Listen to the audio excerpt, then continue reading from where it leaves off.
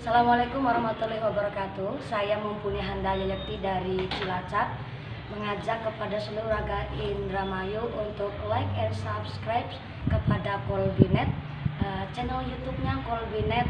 Uh, Teman-teman Kolbinet ini mengajak masyarakat Indramayu supaya ahli di dalam ngaji, kita saling ta'alum, kita saling ngaji bersama. Udu'ila sabili rabbika bil hikmati wal hasanah.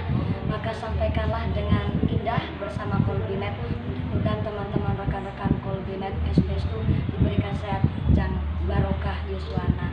Amin. Mudah-mudahan selalu diberikan lestari. Terima kasih. Jangan lupa like and subscribe dari Kolbinet terima kasih. Assalamualaikum